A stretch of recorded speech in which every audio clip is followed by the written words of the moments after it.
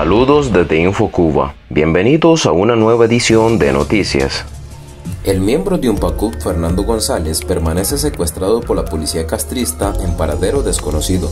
La fundadora de Cuba Decide, Rosa María Payá, explicó en un mensaje de Facebook que desde hace más de siete horas no hay noticias sobre el activista cubano. Además afirmó que Fernando González fue golpeado por represores de la dictadura sin ningún motivo.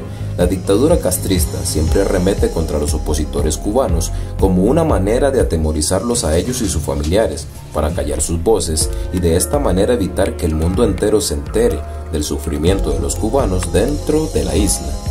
Heraldi Frometa, esposa del periodista y preso político Lázaro Valle, fue amenazada por la seguridad para que abandone sus esfuerzos por unir a familiares de manifestantes del 11 de julio. No quise firmar ninguna carta de advertencia, me negué rotundamente.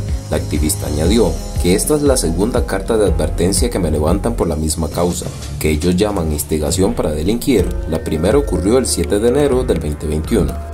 Periodista cubana será desalojada por presiones de la seguridad del Estado a su casero. Urgente, el próximo 5 de febrero estaré desalojada. La seguridad del Estado ha presionado a mi casero para que así sea.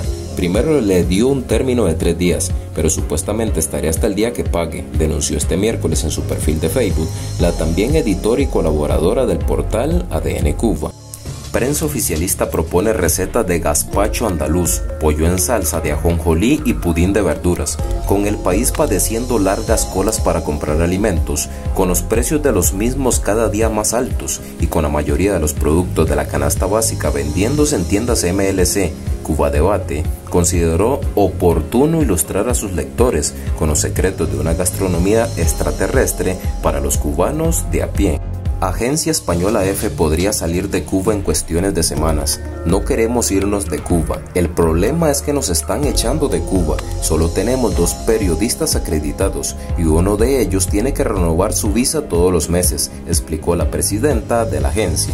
Activista convoca a seguidores de Luis Manuel Otero a que le escriban desde sus redes. La curadora del arte Claudia Henry Hidalgo pidió no cansarnos aunque sea difícil porque una de las estrategias que usa el gobierno es el desgaste.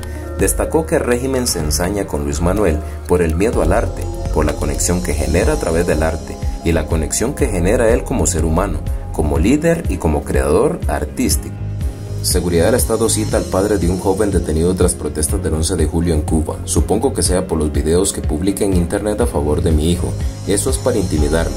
Pero yo tengo una sola posición, y esa es su defensa y libertad, dijo Aguilar. El padre del joven publicó una serie de videos en las redes sociales en los que denunció la falta de garantías jurídicas en los procesos penales que se ejecutan contra los manifestantes del 11 de julio y exigió a las autoridades que cesen la represión en Cuba.